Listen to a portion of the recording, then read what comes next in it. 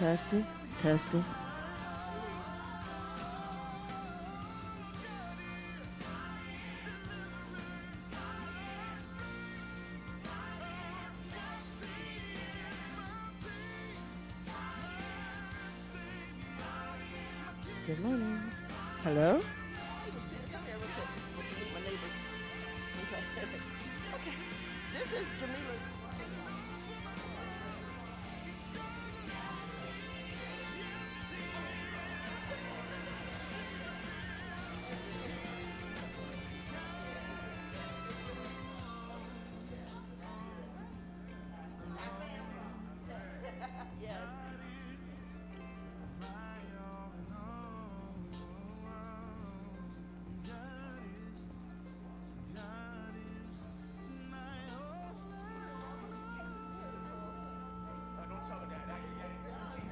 Be, she'll be unbearable for the rest of the week.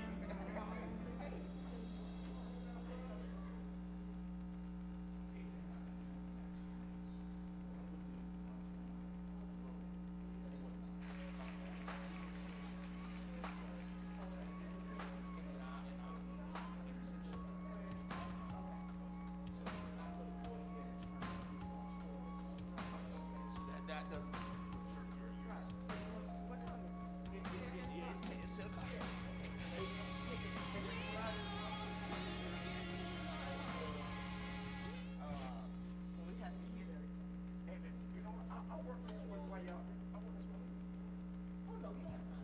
Time. Yeah, so while, you're singing, I'll go put on my robe and come back. Okay. But, but, uh, I, yeah, so I, I'll work this while you're out there. Okay. I just got my numbers, all right? Oh, Lord, amen. Don't forget to hit the record on the other side. Ready?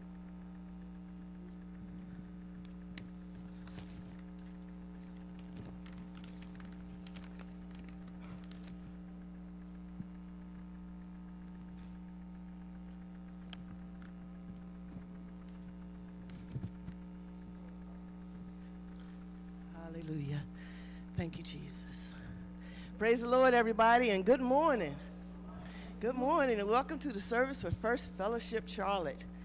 We just thank God that on this Memorial Day, that we are all here in the land of the living, and we honor those of our loved ones that have gone on before us.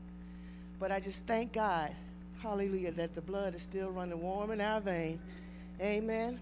And there is just so much to be grateful for and so much to be thankful for.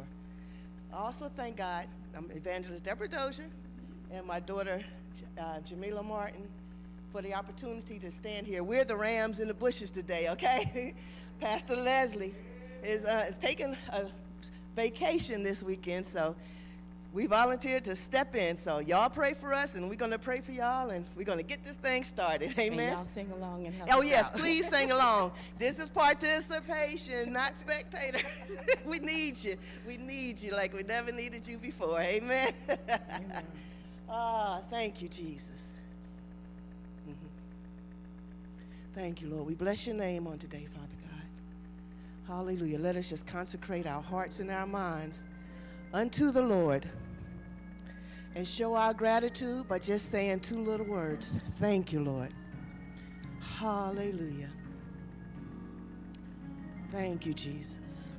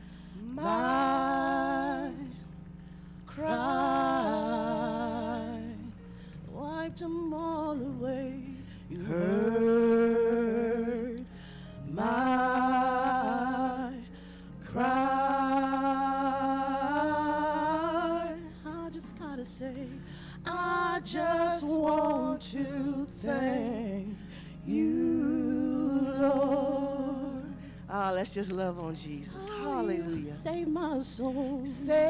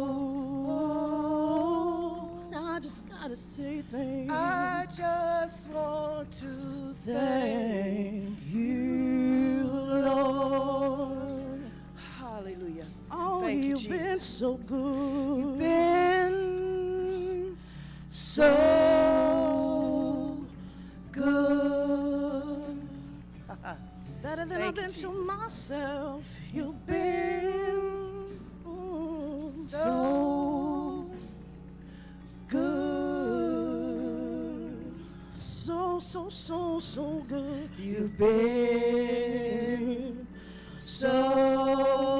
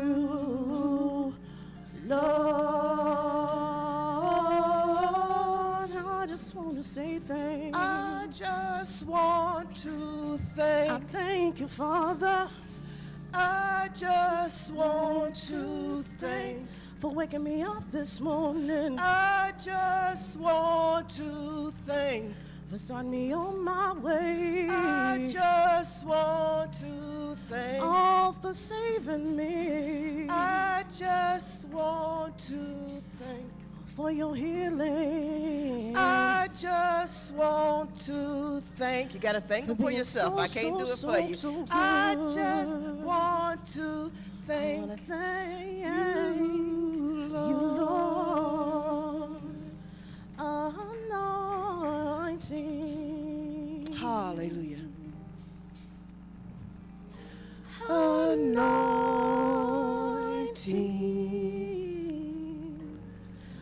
fall on me. Anointing.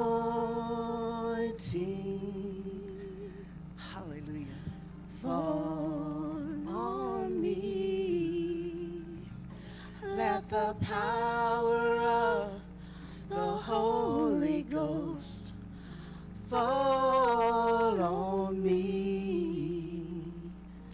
Anointing fall on me. Hallelujah. All over the sanctuary and at home, put your hands together for the Lord. Hallelujah. We could do nothing without the anointing of God falling on us. Hallelujah. We're consecrating ourselves and setting ourselves apart for worship unto the Lord. And on this Memorial Day weekend holiday, God has blessed my daughter, the psalmist, Jamila, to create this song. And it's about our loved ones that have gone on before us. And as we honor each and every one of the individuals, veterans, and those of our family members alike, we that know the Lord, that know they died in the Lord, we know that if we live right, if our time we have left, that we will see them again. Amen. On the other side, each and every day, hallelujah, we strive for God to welcome us in. Thank you, Jesus. Be blessed. Thank you, Lord. Hallelujah.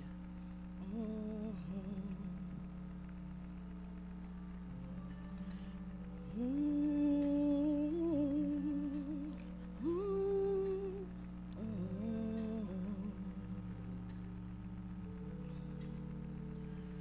Right now, though my heart is filled with sorrow, I take comfort in the promise of tomorrow's sun. I there's an emptiness inside, a missing piece from my inner core. I have faith. For someday we'll be together beyond the memories and dreams that keep me warm. And even though my heart cries right now, I stay strong because I know I'll see you again. I'll see you on the other side. I'll see you on the other side. I'll see you on the other side. See, I know Yes, sir. that we left so much unfinished. There's never time enough to complete all we started. When you left, you took a piece of me with you.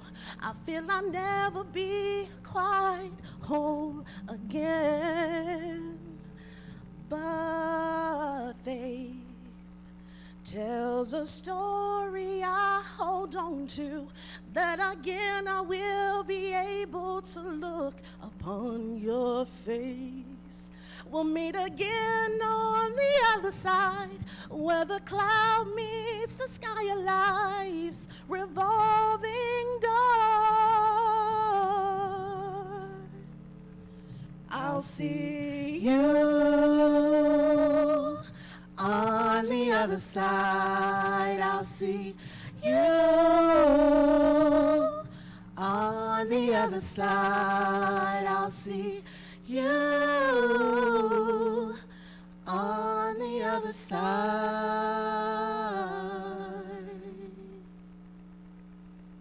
God bless you. God bless you. Hallelujah. Thank you, Jesus. Now we're going to have the welcome by Deacon Kinsey. yes, ma'am. Hallelujah. We bless your name on today, Jesus. Yes, ma'am. Hallelujah.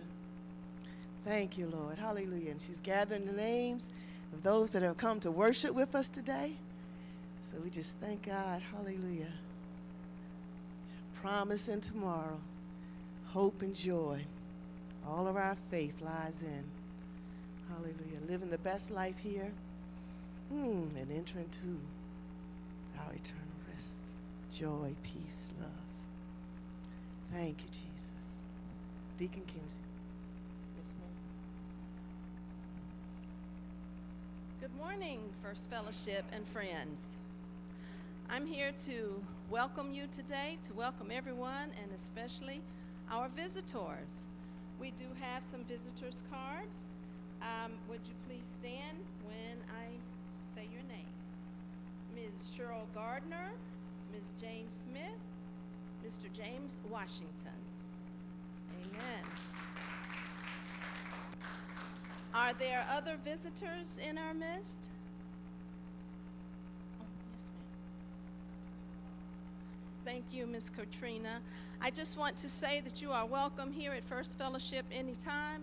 We are so happy that you have come to be a part of our service, and may you get a blessing from the word and the lovely music. Amen. I also just want to um, honor our veterans. This is Memorial Day, and I just, if are there any veterans here? Amen. Please stand. Amen. Let's give them a hand. God bless you. These are some brave young men and women. They go to war for our country. They are willing to lay down their lives for us. God be praised. Have a blessed day.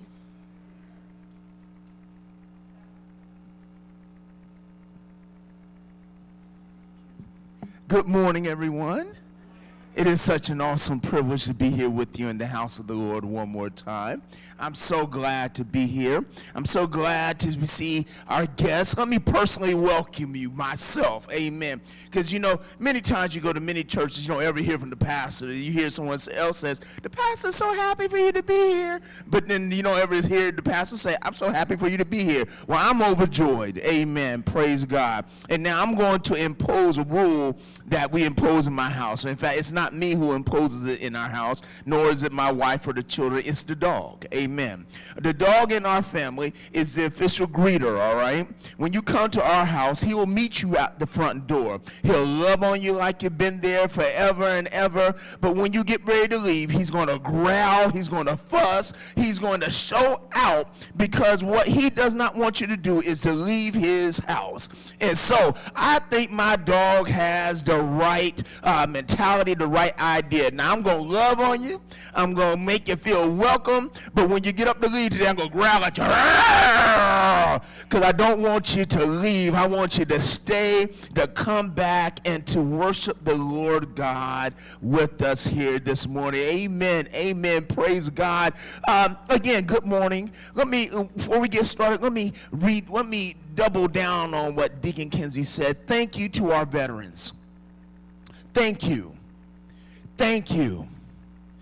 You were willing to write a check where the payment amount was blank. And you were willing to let someone else fill in what the payment amount would be, including up to your lives.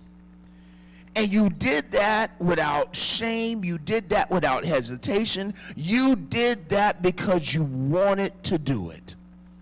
And we thank you for that. We thank you for that. Just being on, on moment's notice, ready, we thank you for that.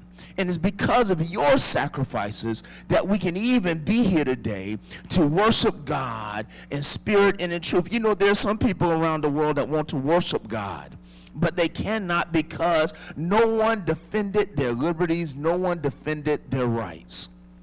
But God has so blessed us to put us in a country where we have persons, young people at that, who are willing every day to pick up uh, uh, arms or whatever is necessary to defend our liberties and our rights so that we could have a chance uh, to uh, be here today to celebrate. So I don't know who has veterans in their families or, or, active military in your family, but today and tomorrow you ought to reach out to them and say thank you. Amen. Don't don't don't make this just about the barbecue ribs and chicken you're going to eat later on, all right? Make this about honoring the sacrifice that these young men and women have made. Amen. Amen. Praise God. I'm going to read all some names on our intercessory prayer list. Amen. I'm going to let you read what they're asking for, all right? And then at the end, if there's any names we need to add to the list, we'll add to the list, okay? Beginning with Margie Lindsay, Vivian Williams, Rufus Pettis, William and Ramona Charlton, C.J. Charlton and family, Michael Charlton and family, Irma Johnson and family, Irma Butler and family, Queen, Queen Rembert and family, Bobby Vaughn, Sister Eunice Farr, amen, praise God, Sister Hattie Gamble Easley, Sister Ethel Young and Brother Milton Young Jr., Brother James Groves, Brother Sean and Sister Carol Jones, amen. Brother Walter and Sister Sylvia Brown, Brother David Goins, Sister Vita Harold, Sister Diane Marion, Brother Lee Scott, uh, amen. Brother Marshawn Jones, Sister Suzanne Smith, Brother Marvin and Sue Hartsoul, Brother Daryl Perkins, little Elijah, uh, a sister that gave us her prayer request that used the tag Deborah. Amen. Praise God. Uh, Ashlyn Curry, amen. Demetrius Curry, Amaya Rucker, sis, brother uh, Jacoby Tyson, sister Kenya Curry Till, sister Aaron McNeil, sister Kim Clark, the Blackwelder family, brother Chris Smith, uh, br brother Kenneth and sister Angela Wright, uh, sister Donna Reagan, brother Nicholas and sister Lauren Hill, the Yancey family, Kelly, Sister Kelly Ladon Smith, Sister Chris Spiller, uh, Sister Keisha Moon, Brother Brian Inman, uh, the Williams family, Sister Stephanie Roberson, Brother Michael and Alpha Foray, uh, the Whitener family, Brother Curtis L. Bryce, the 123 Rhythm to Read summer program, Sister Carol White, Sister Tracy Payton, Sister Andrea Gardner, Brother Derek Jones, Sister Guyanese Clement, Brother Robert Wilson, Sister Ava Topping, Sister Omicia Barnes, Sister Gail DK, Sisters Yolanda and Tanya Dees, the Family, Brother Ricky MacArthur, Brother James Colby, the Rogers family, Brother Orrin Reeder, uh, Sister Peggy Menace, Sister Tracy Bell, and Brother Chris Cook. Are there any names of anyone we would like to add to our intercessory prayer? Let's go ahead, Sister Eva.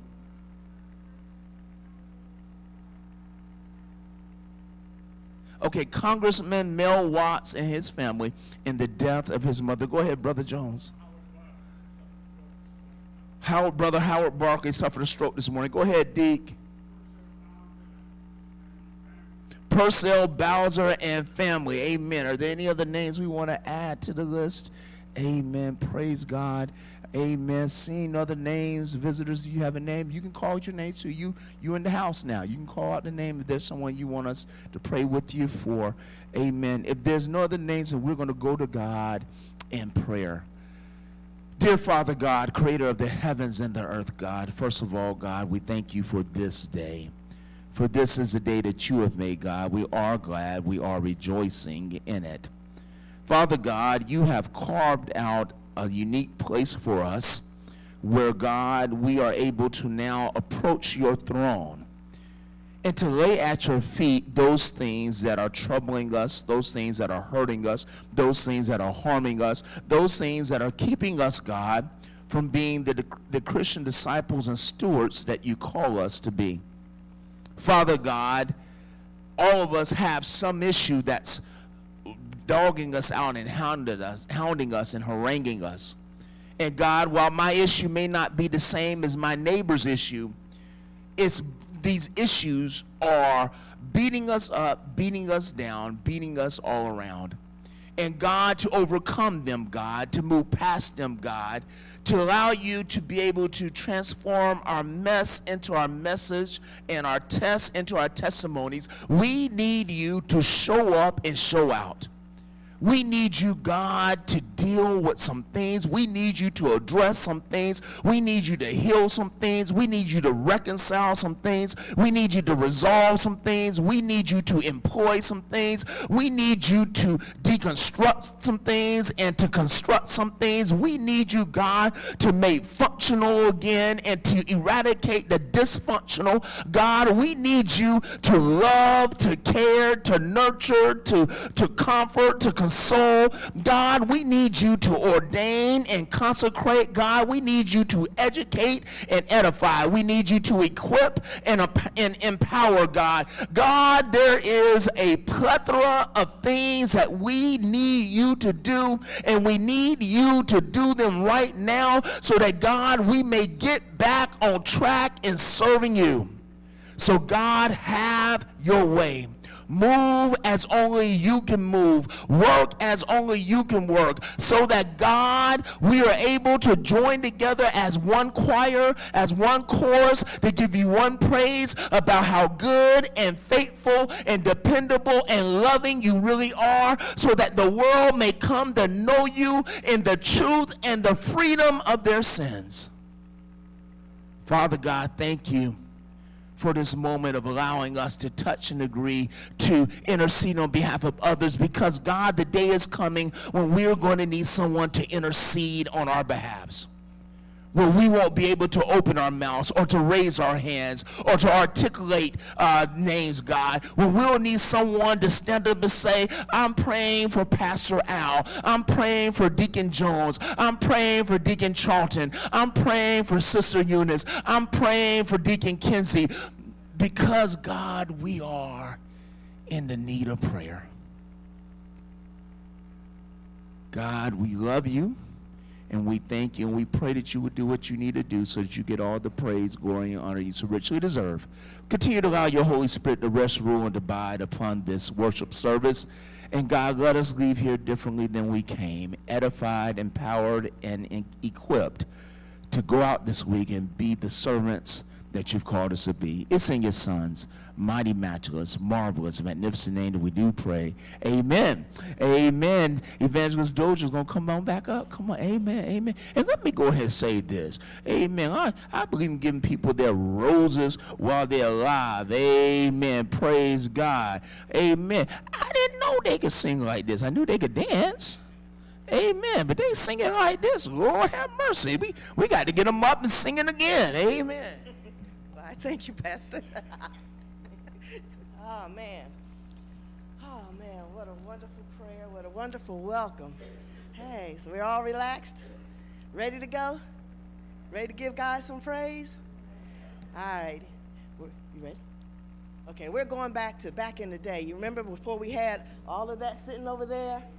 And we had to use the instruments that God gave us, which was our hands and our feet and our voices. Yes, so let's try to do that. Put the mic on the side. Yeah, she, give me- she got to clap because I'll be off.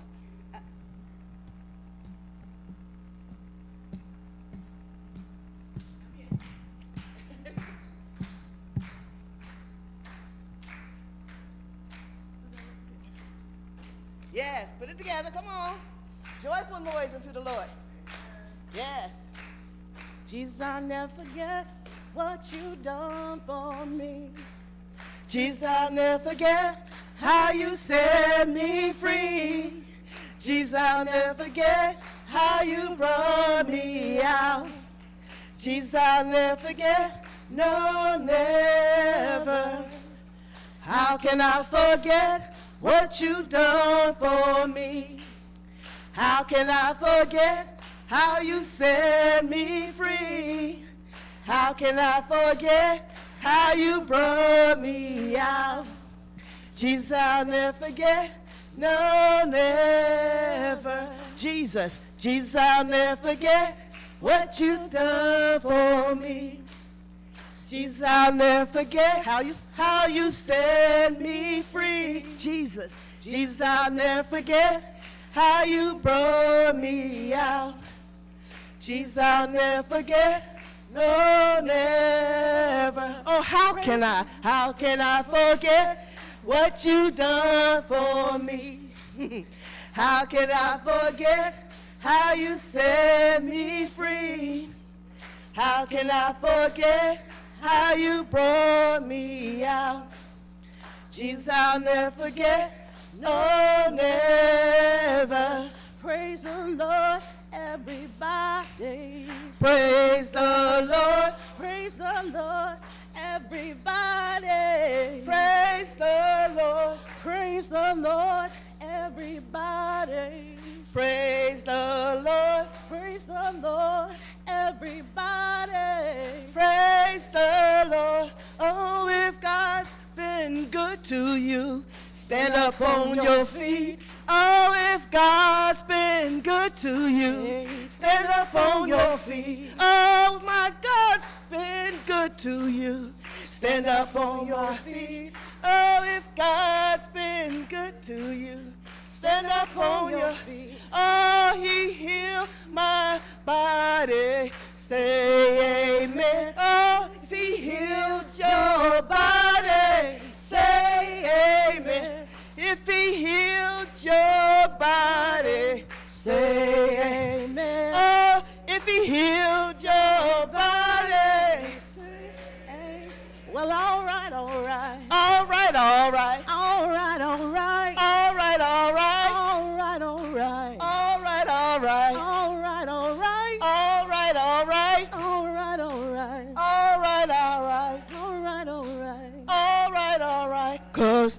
soldier in the army of the Lord. I'm a soldier in the army. I'm a soldier in the army of the Lord. Oh, I'm a soldier in the army. I got my war clothes on in the army of the Lord. I got my war clothes on in the army. I got my war clothes on in the army of the Lord. I got my war clothes on in the army. Oh, if I die, let me die in the army of the Lord. Oh, if I die, let me die in the army. oh, if I die, let me die in the army of the Lord. Oh, if I die, let me die in the army. Praise the Lord, everybody. Praise the Lord. Oh, praise the Lord, everybody. Praise the Lord. Oh, praise the Lord, everybody. Praise the Lord. Oh, praise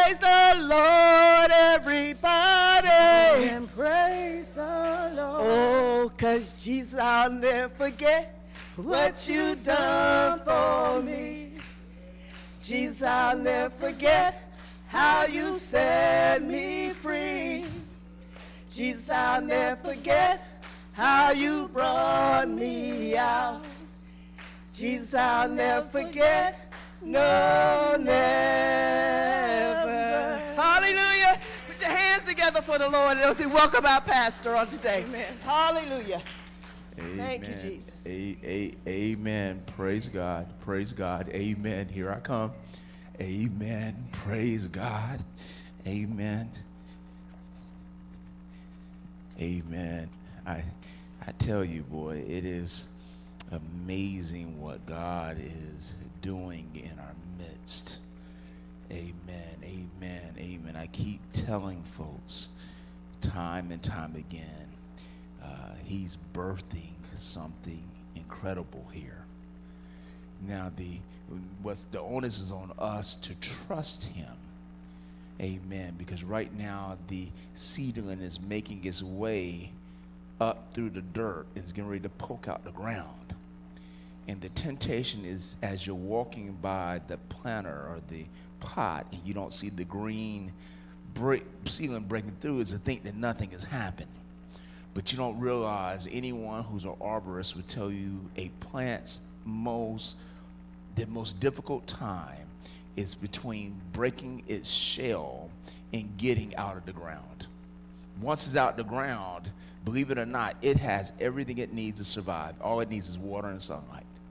It has the root system, everything, but it's getting there. And I believe God is developing us that to the point where when others start to see us, we, have, we will have already been developed in such a way that we would be a ministry that is bringing him glory, a ministry that is enabling people to understand who they are in God, and a ministry that is empowering people to serve him in their respective callings. Amen. Praise God. So, amen. I, we've been praying because, amen, there was a time when Pastor Leslie wasn't here. You had to hear me sing. Amen. Amen.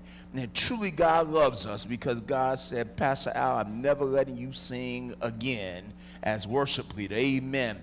And so, if He's blessing us that way, there's more blessings yet to come, and we just have to hold on to it. Amen. Amen. If you have your Bibles, why don't you turn with me to the fourth gospel, the Gospel of John. We're going to look at the ninth chapter, the first five verses of that scripture. John chapter 9, verses 1 through 5. If you're able to stand for the reading of the word, we ask that you would stand. Then, reading from the New Revised Standard Version, the word of God reads as follows As he walked along, Jesus saw a blind man from birth. His disciples asked Jesus, Rabbi, who sinned? This man or his parents that he was born blind? Jesus answered, Neither this man nor his parents sinned.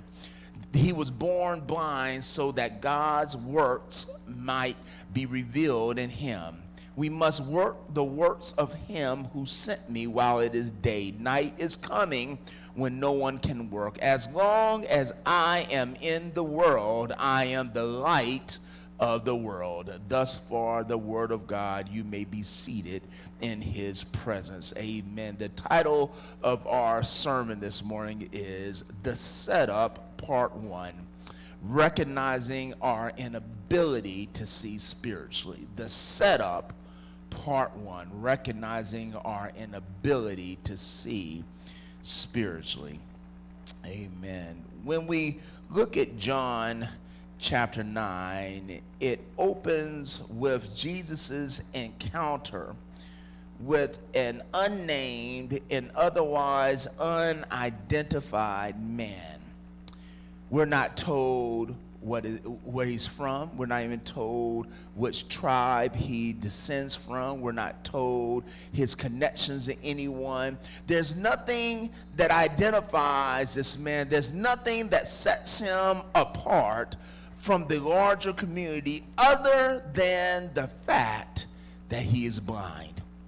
He is physically unable to see, and being blind meant that he spent every day of his life sitting on the side of the road begging. You got to understand during antiquity, if you were born with any kind of defect, physical, mental, or emotional, you were understood to be under judgment from God. That God, that either you or your parents had committed some kind of sin and God was punishing you. As such, your life was spent relegated on the outskirts of town. You weren't allowed inside the city. You were not allowed inside the local synagogue. You definitely were not allowed inside the temple. You were kept outside. You were ostracized. You were relegated. You were isolated. You were treated with scorn and contempt contempt. People looked down their nose at you. They didn't want to have anything to do with you. You were lower than lower than low. Scum was higher than you, uh, and you and you were someone that was mistreated at every possible turn.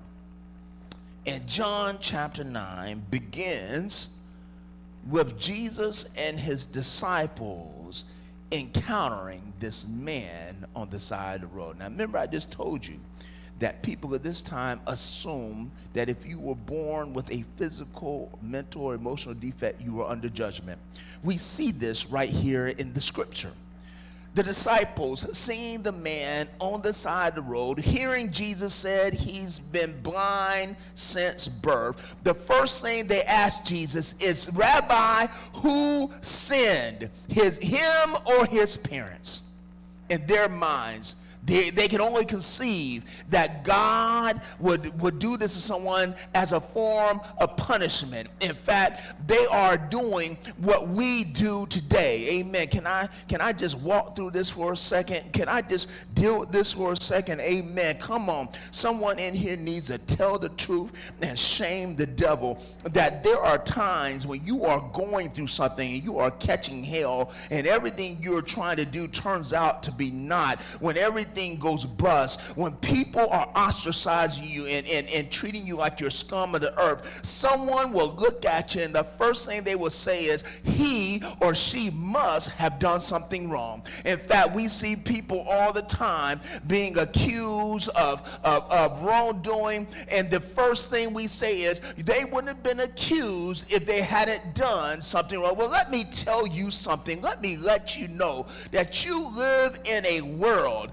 where you can do everything right, you can do everything perfect, and people still will find a reason to accuse you of doing something wrong. In fact, if you listen to what Jesus says, Jesus answers the disciples and says, No, neither his parents nor he had committed any sin that explicit answer comes with an implicit uh, uh, uh, statement. The implicit statement is if they haven't sinned, then they've done everything right.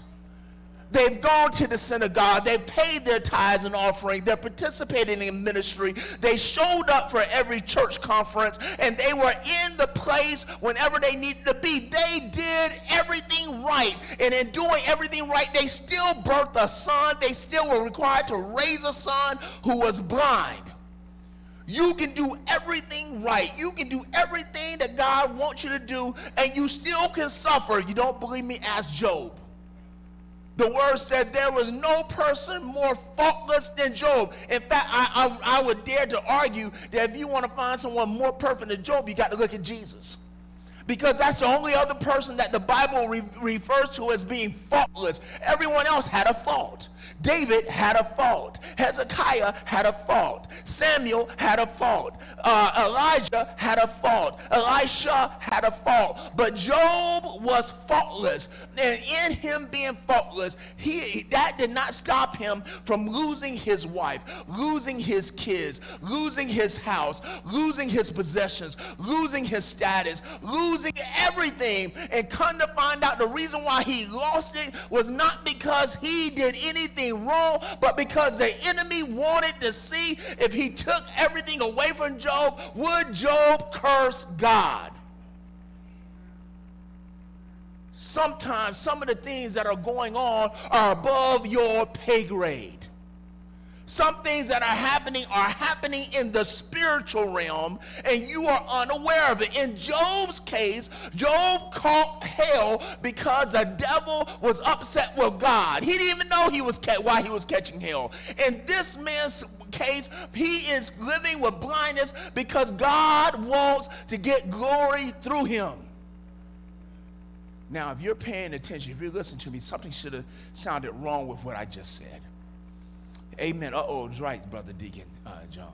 Uh, God wants to get glory in the man, so he birthed him blind. All right, y'all gonna get this. Amen. We're gonna work with this for a couple Sundays.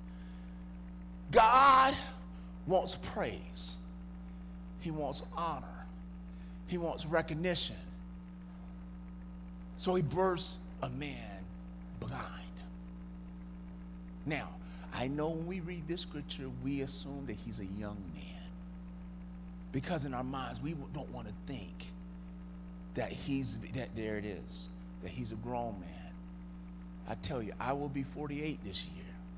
And when I read this scripture, I see a 48 year old man that's had to live for 47 years without the ability to see.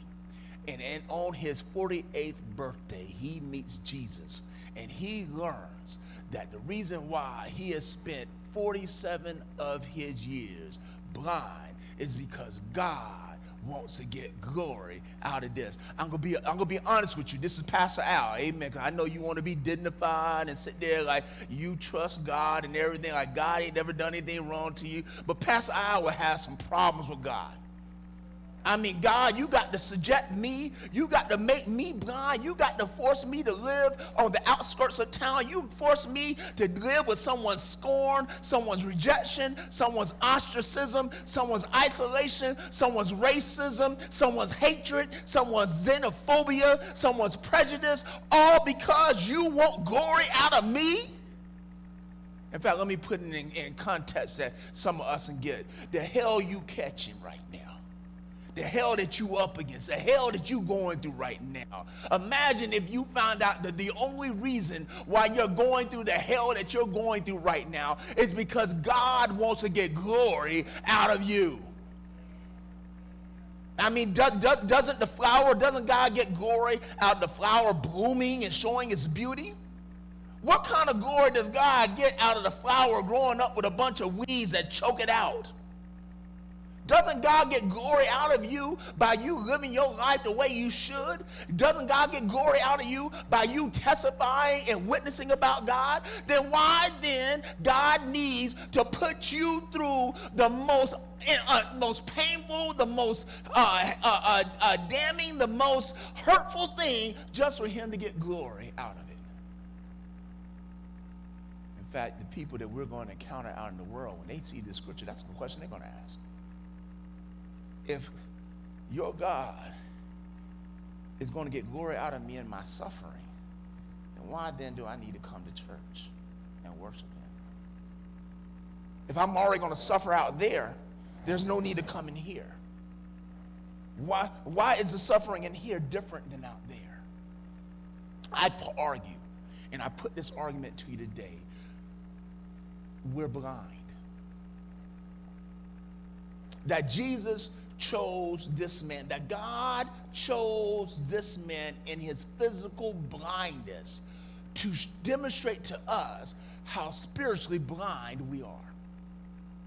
Now, I know we don't want to hear that because guess what? We saved, sanctified, and filled with the Holy Ghost.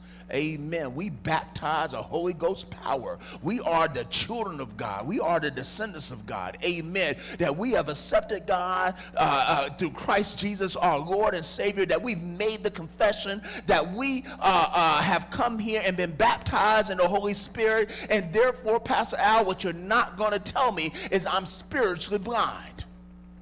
Well, guess what? Here were the disciples.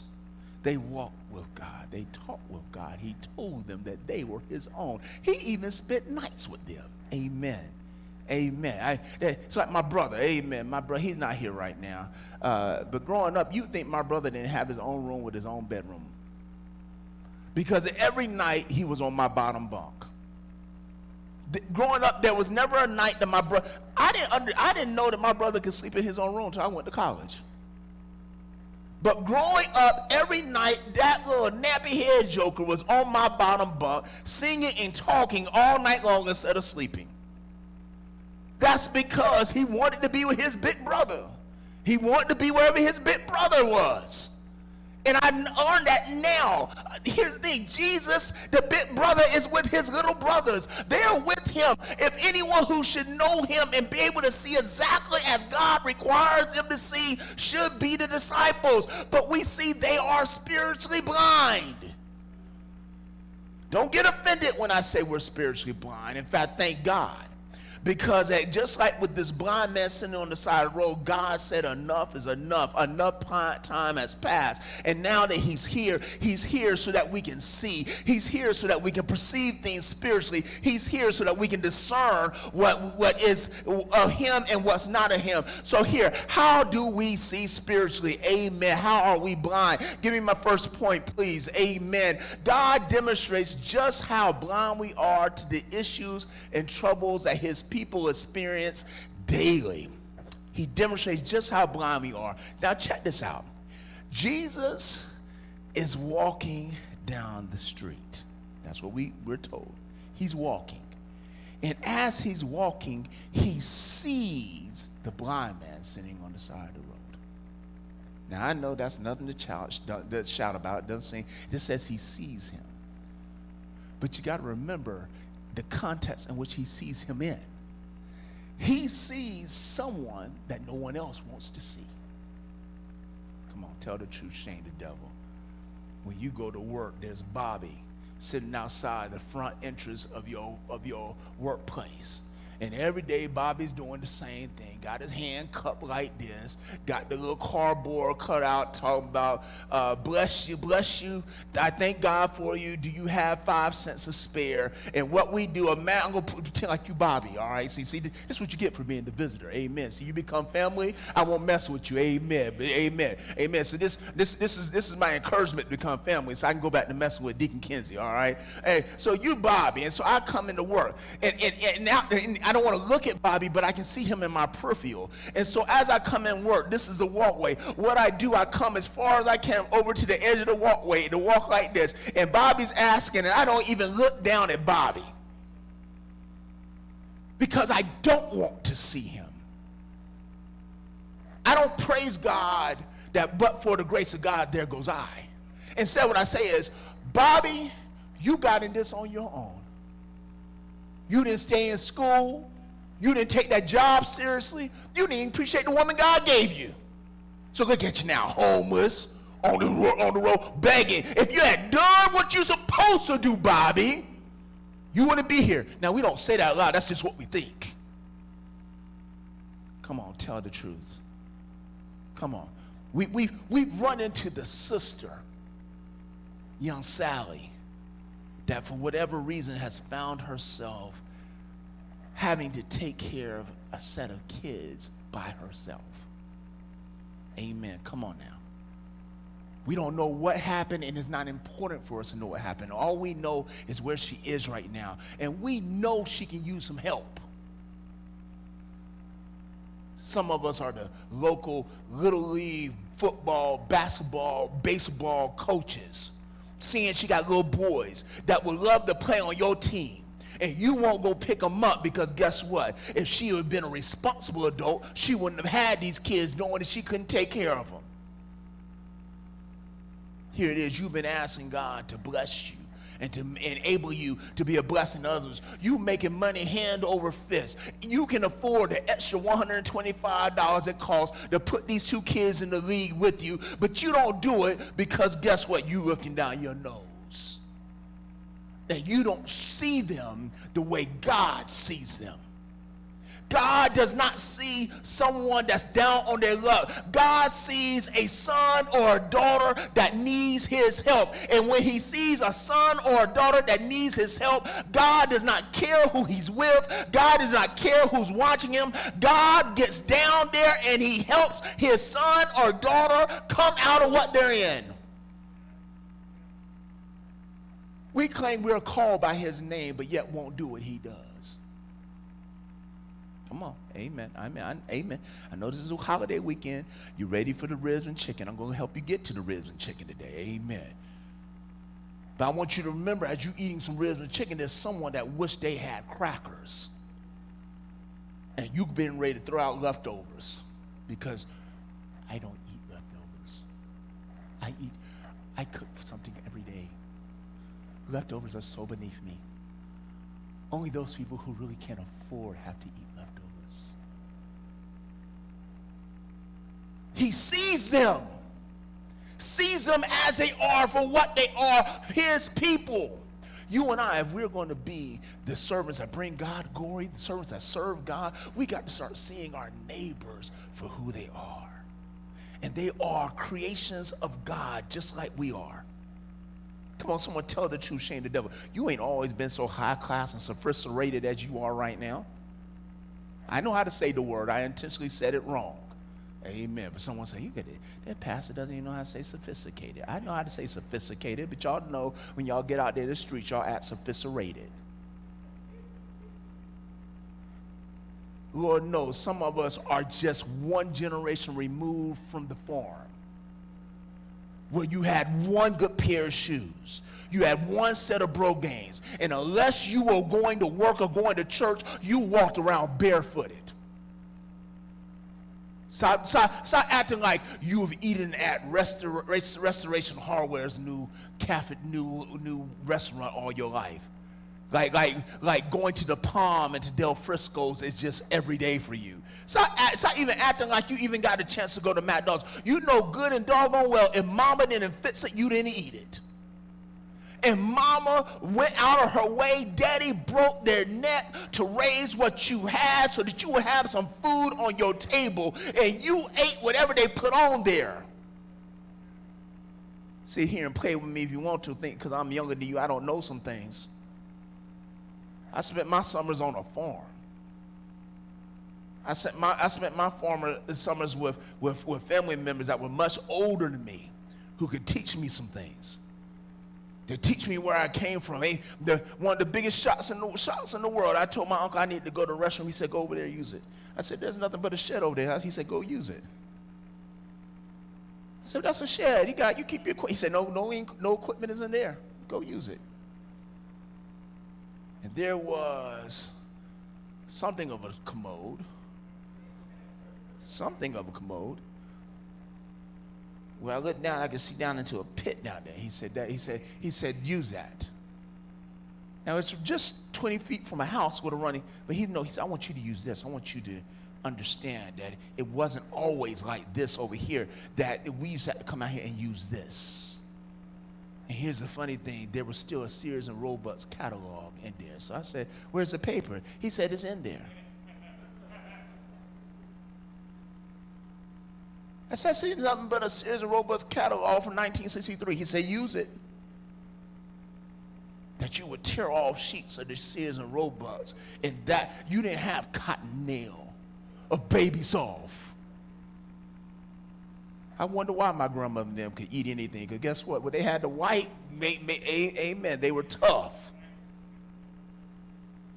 Amen. Praise God. But we've forgotten that.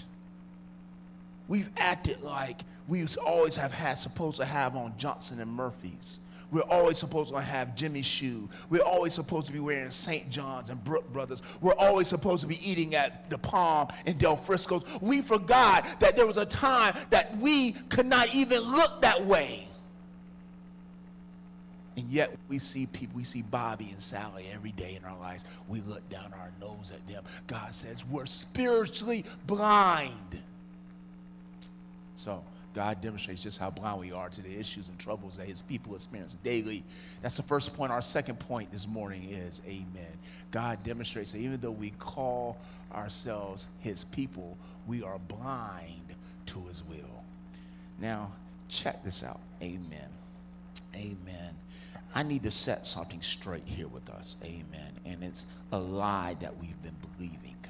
Um, and the lie that we've been believing is that um, when God is ready to bless you, he blesses those that deserve to be blessed. So let me tell you what I mean by that. He deserve, he blesses those who work hard, who put in the work, who are studious, good people, who really haven't gone through any, we haven't gone through any problems, haven't caused any problems.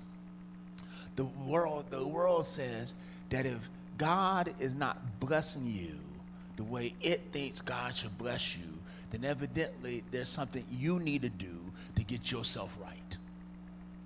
I mentioned Job. Job's homeboys, his cut brothers, they, his, his road dogs. Instead of coming to him and saying, Job, how can we pray for him, pray for you? They came and tried to chastise him. Job, you done something wrong. You ought to fall on your knees right now and pray to God for forgiveness. His boys, his aces, his bone combs. Come on, y'all start acting like I'm the only one who knows these terms. Amen. Amen. Amen. Eh, we, we got some friends, amen, that if something happened to us, they got to die too because they know too many secrets. They know too much about us. If I've, I've, I've got about four friends, I've already told them if I die, there's four plots to be right beside me because y'all going with me too. I can't, have, I can't stand to have y'all live because someone may get the secrets. Amen. It, I, I, told him, I said, we, we, we going out like the Egyptians go out. When one person died, the whole family or the friends had to go too because you know all the secrets. And my wife don't walk, watch out. She gonna be the fifth one. Amen. Because she she's learning some secrets too. Amen. I can't can't have it get out in the public. Amen. Praise God. Amen. So eh, you, these your boys, these your girls. And the first time you in something, they say to you, what you do. What you do. The disciples saw the man blind and thought he was he was uh, uh, uh, sin. He was being under the punishment. They miss that God was orchestrating a show up and show out moment. Okay. We all love the show up and show out moments. Those are ones that set us off. We get our praise on, we get our dance on, we start running around the sanctuary because he showed up and showed out. But what we miss is the show up and show out moment is a show up and show out moment because of what we were in when he showed up and showed out. We were in something that was bigger than us, that was heavier than us, that was more powerful than us. And God showed up and knocked that thing out like it was nothing. When's the last time you seen someone that's born blind get their sight back? Don't worry, I'll wait. When's the last time you seen someone that was born quadriplegic? That means they can't move any muscles. I'm not talking about the person that loses ability to move in life, but they're born not being able to move. Someone born with some kind of me- mental or physical uh, uh, issue that keeps them from functioning normally. When's the last time you see someone born with Down syndromes get, get over Down syndromes and become normal at what we think is normal? When's the last time you see someone uh, uh, born with all these problems overcomes it? Not never. And I know that's a double negative, mom. I know that. But I'm saying that so that we get that. Not never. And here it is God has to show up in your not never situations to do the not never impossible so that you can give God the forever praise. And here it is. All we want to do is to celebrate the show out, the show up and show out moment instead of celebrating what he has brought us from. Jesus talks about it. He says there are two men. One was forgiven for $500, another was forgiven for $5,000. Which one do you think had the greater reason to be for, to praise God? The, the, the, the scribe said the one that was forgiven most. Those of us who have been in some situations where we know that the only way we are here today is for God, we have, you don't have you ain't got to pump or press us to praise. We're ready to praise when we come through the door. In fact, we're the people that you get tired of seeing because when we come in and say, How you doing? I'm saved, sanctified, filled with the Holy Ghost Spirit. God has blessed me. Amen. I ain't got no words. They make you sick. It's not that they want to be offensive. They are celebrating the goodness of God. See, too many. See, let me tell you something. Let me, let me put my glasses down because y'all got me. I'm about to act a fool in here for y'all, all right? Y'all are too busy arguing with God about bills instead of realizing that you got bills in the first place because you got blessings. Okay, all right. You upset with the house note because the house note's so doggone high. But last time I checked, you were here at church begging me and every other body to touch and agree with you that God would bless you with the house that you now complaining about the house note.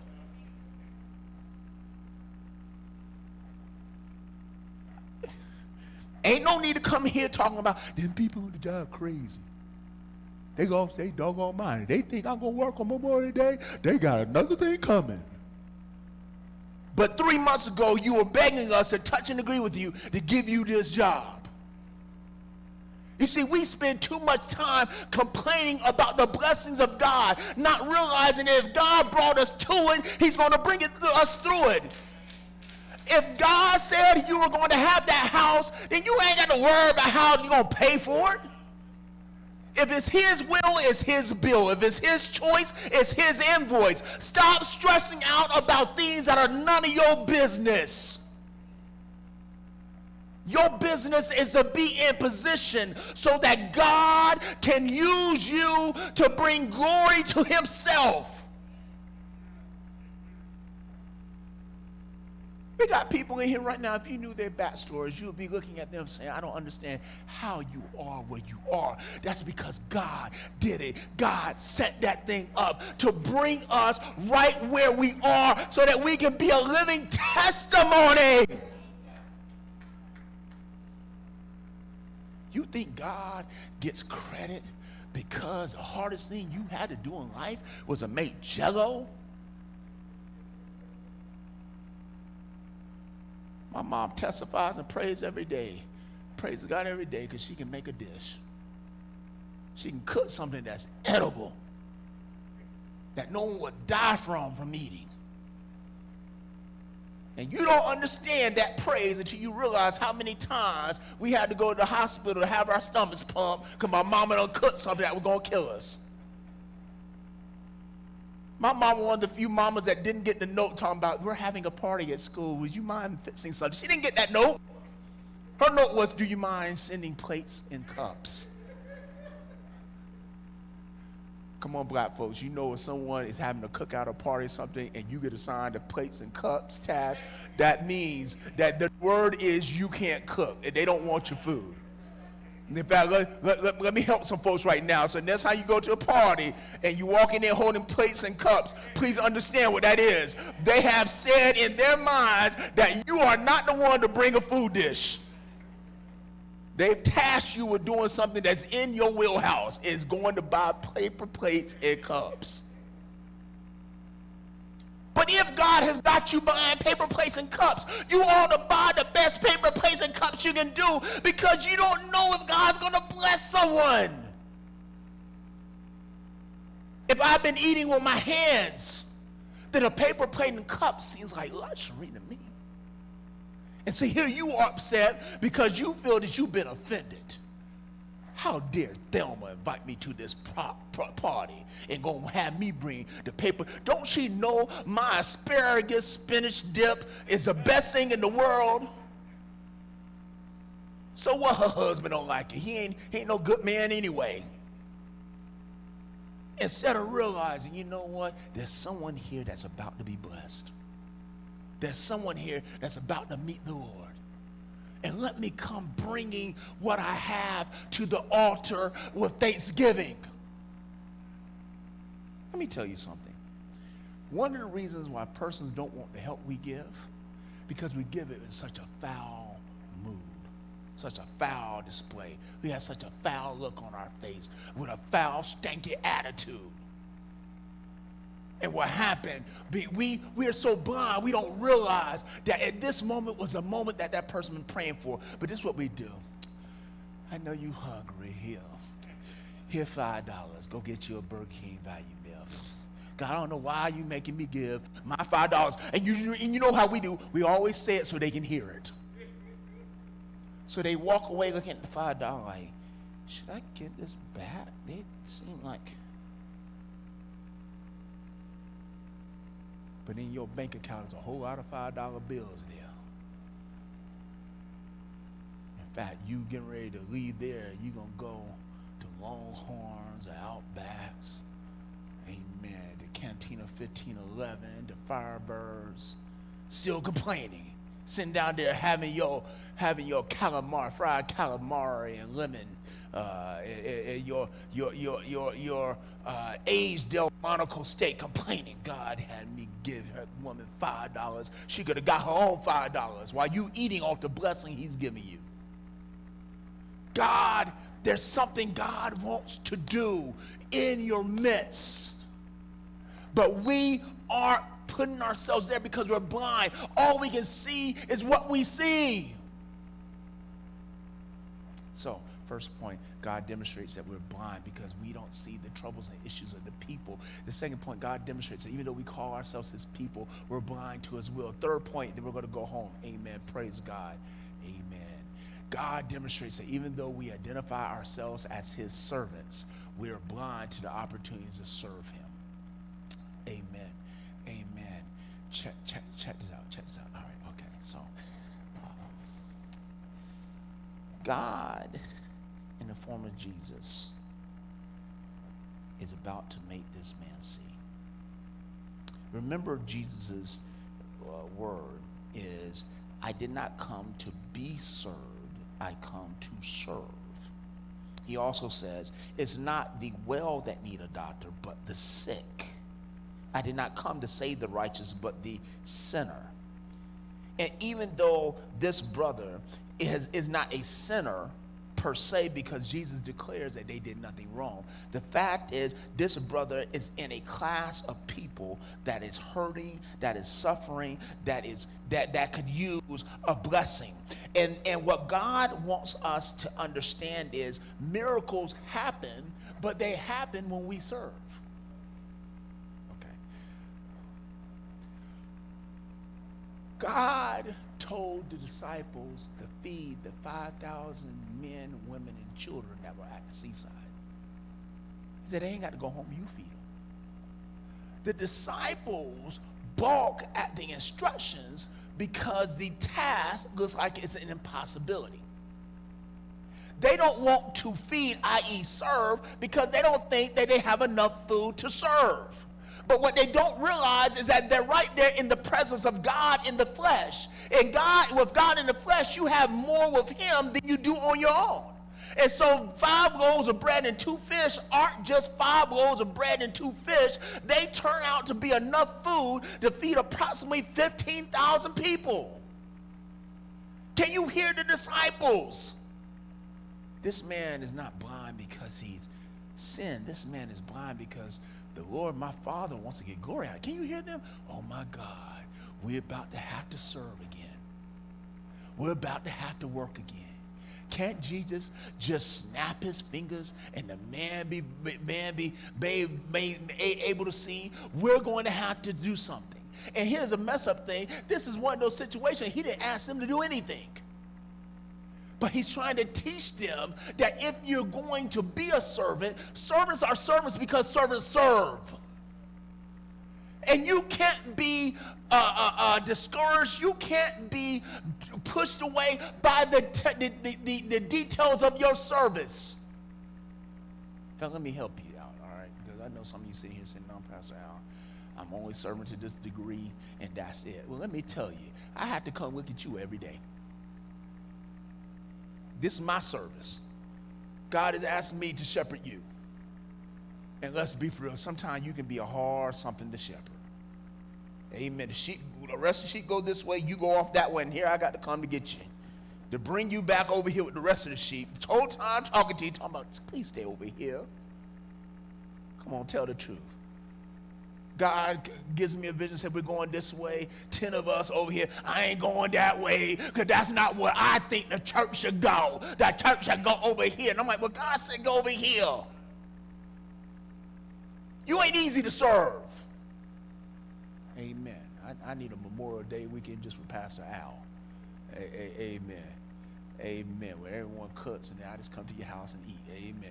Praise God. Now, if you ain't that easy to serve, why are you tripping about the, the terms of service that he's giving us? And in fact, let's be for real. He has already empowered us to do what he did and more. Which means, tell you the truth, there shouldn't be anyone blind in this day and age. Not physically blind or spiritually blind. Persons should see, should see clearly. They should be able to discern everything of God clearly because guess what? You and I are serving. Imagine what life would be like if everywhere we went, the presence of God fell on the people there. In Charlotte, we're on track to have one of the worst years as far as murders. Every day we've gotten up this year, someone is dead. And I have been particularly watching this because I get the news uh, buzz, the news uh, on my phone. There's not been a morning when I have not woken up awakened and Charlotte Mecklenburg police aren't on the scene with CSI conducting a murder investigation.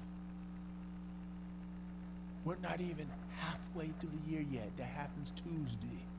No, I'm sorry, not Tuesday, June 30th. That's halfway through the year. And we've already exceeded some years in the past the rate we're going, this is going to be a record setting year.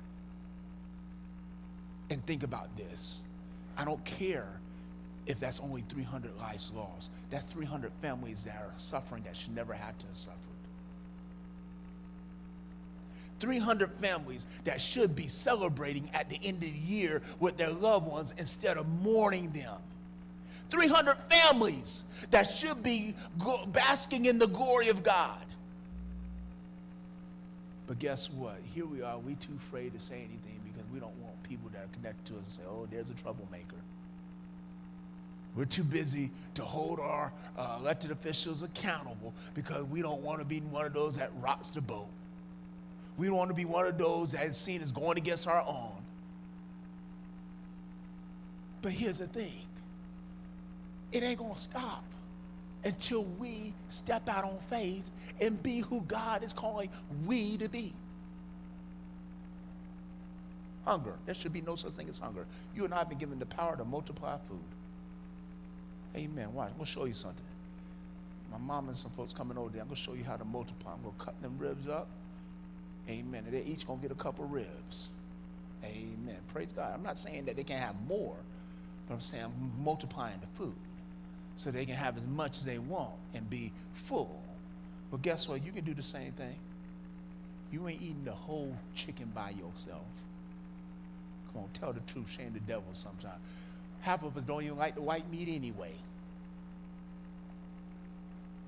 Come on, be for real. That, that chicken breast be the one thing sitting there growing legs.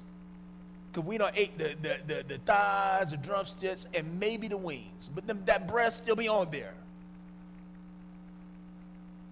not, not realizing that that breast is enough to bless someone. You ain't got to look for. You ain't got you, you, you don't have to get in your car and drive across town. I bet you if you look across the street, someone is standing in the need. And that need may not look like you think it looks because guess what? A present with good wrapping always looks like it's more valuable on the outside than it is on the inside. My best friend and I, Chuck, we, we pride ourselves in being cheap. Amen. We grew up being cheap. Uh, amen. Praise God. And we're trying to get gifts. We give each other a gift. Had this beautiful wrapping on it because it came free. If you go to certain stores, they wrap it for free. So if it's free, we cheap, give me the best one. And so we get excited, like, oh man, you shouldn't have gone out your way. Oh, I didn't go out my way. Just you and, and open to get be like, after all that rapping, I expected you this year is gonna be the year we weren't gonna be cheap. And we look at each other and say, No, we cheap. Amen. People have wrapped the gift.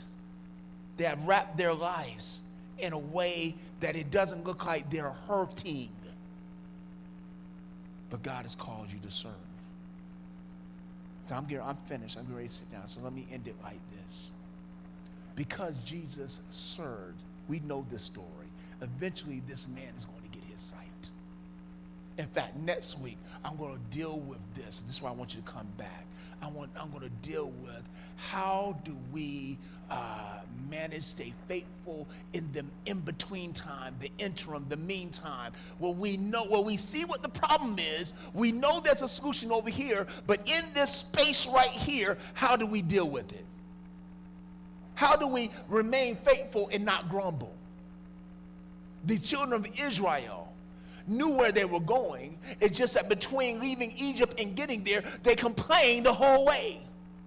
And they should not complain because where God was sending them was a land full of, of milk and honey, houses that they did not build, uh, uh, lands that they did not plant uh, crop and harvest. Everything was already, they should have been singing and celebrating. In fact, if they had, the journey wouldn't have taken 40 years, it would have taken 17 months months.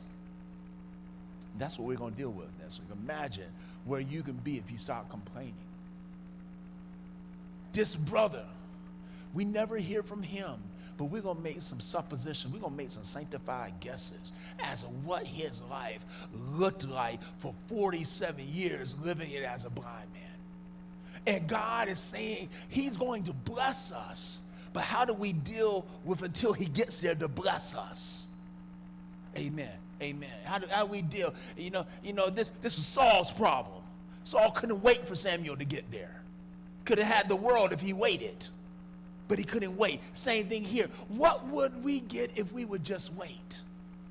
I know we're going to see. I know He's going to bless us. I know you're going to rise out of this thing. I know you're going to get stronger. I know you're going to get better. I know your family's going to be healed. I know you're going to be healed. I know y'all going to be reconciled. I know you're going to be employed. I know you're going to be educated. I know you're going to receive all these wonderful things from God because God's word is true. It shall not fail. It shall not come back to Him void. Whatever He said He's going to do, that's what He's going to do.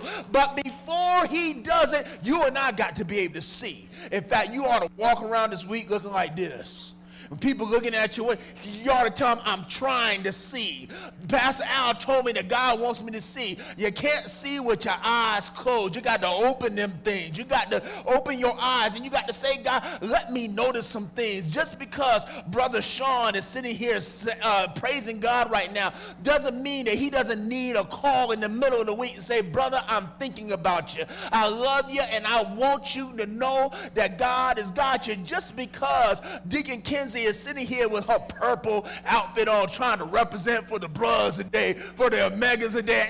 Amen. Praise God. She, she's, she, she's looking out for the, for the brothers today. Just because she looks good in her purple doesn't mean that she couldn't use a little time this week spent ministering to her and talking to her. Just because someone looks like they got together does not mean they have it together. And if you really want to see, ask God to open your eyes regarding what someone's going through. Ask God to sensitize your heart. Ask God to give you the words. Ask God to give you the insight. Ask God to give you the. In fact, for some of us, we just need to show up and do nothing because a ministry of presence says more to someone than our testimonies ever could. Ask God to put you in a place where you can exercise your ministry of presence, where you can be a blessing to someone so that someone walks away giving God the glory. Someone walks away saying how good and how awesome our God is. Someone walks away talking about, I don't know about you,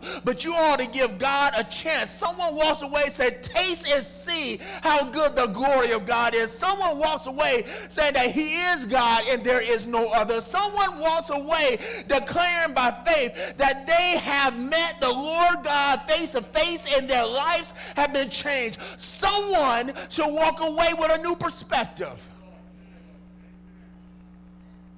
All because you can now see. Amen.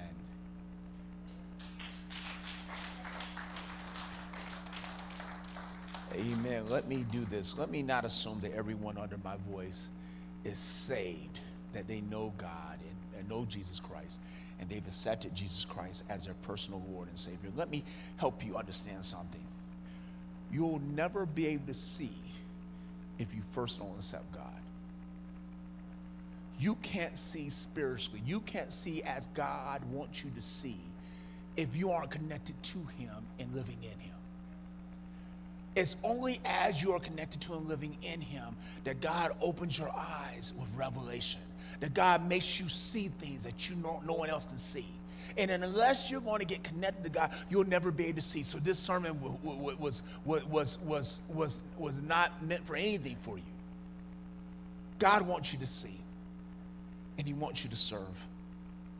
In order to do that, you and I have to be connected with Him. So in the privacy of your own hearts, and I want us to bow our heads, close our eyes, and pray this prayer with me. Dear Father God, thank you, God, for loving me so much that even in my life, all the time that I have spent spiritually blind, you've been looking out for me. You've been seeing for me and discerning for me and guiding me through dangers, both seen and unseen, to get me to this place right now. Father God, I thank you for that. And I praise you for that. And recognizing and realizing what you've done for me, what you're doing for me. Father God, I declare right now that I want more of you. I want you every day in my life present with me. I want you, God, to fill me with your Holy Spirit. And I want you, God, to take me to places I can only dream of and do things with me that I've only read about. Father God, I believe in my heart and confess with my mouth that Jesus is Lord to your glory, that he did come, he did live, he did minister, he did serve. And then one day he was arrested, tried, and convicted. And that night he was beaten to within an inch of his life, cruelly, horribly mistreated.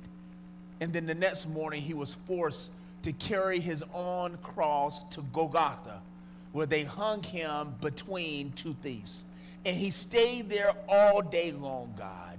And when the time came for him to die, he died on that cross. And he was buried in a, buried, a borrowed tomb where he stayed for three days. And on the third morning, he got up with all power in his hands. And he currently sits on the right side of the throne, making intercession for me and my neighbors, God. I believe by faith in Jesus. And I declare right now that He is my Lord and Savior and that I am saved, that I am a new creature, that old has passed away, and behold, all things have become new. And God, being a new creature, I leave this place with a new perspective, with my sight becoming restored and becoming clear. And I leave here, God, with the ability to start discerning things, God, as you would have me to discern. And I pray, God, that as I grow in you and with you, that God, you will continue to open my eyes, continue to give me spiritual insight, continue to give me spiritual discernment, so that God, as I serve, I bring you glory, honor, and praise. It is in your Son's mighty, matchless, marvelous, magnificent name that we do pray. Amen. Amen. if you prayed that prayer for the very first time, you today you pray what we call the sinner's prayer. Every one of us who are saved had to pray it. Every one of us went through this process. Now, if we were not in pandemic protocol, I would have you come down here, hug on you, love on you, uh, give you some encouraging words, and we will start the process of your spiritual growth, growth and development right now. Okay coronavirus has put a damper on that, but it has not stopped it. So we have to do it a different way. This is what I want you to do. I want you to send me an email. Or if you're on Facebook, go to my Facebook profile, Al Kennon, and send me an email, Pastor Al Kennon III at gmail.com. It's on the screen. And I want you to tell me that today you met Christ, you accepted Christ, and you're starting your walk. We believe that God does in the spirit what he does in the natural. We don't birth babies and send them over the corner and say, hey, baby, take care of yourself. Raise yourself, clothe yourself, feed yourself, change yourself. Instead, we believe that parents will love on these babies, give them what they need, nurture them so they're able to grow and become productive citizens of our society. Same thing in the spirit. We don't put someone you in the corner and say, "Hey, grow on your own." No, we walk with you, talk with you, help you mature in Christ so that you become a faith-wielding, faith-believing disciple and steward of Christ that serves him. Amen. So, send me that email so we can begin that walk together. Amen. Amen. So let me ask, are we all on one accord? Are we all good? Amen. Praise God.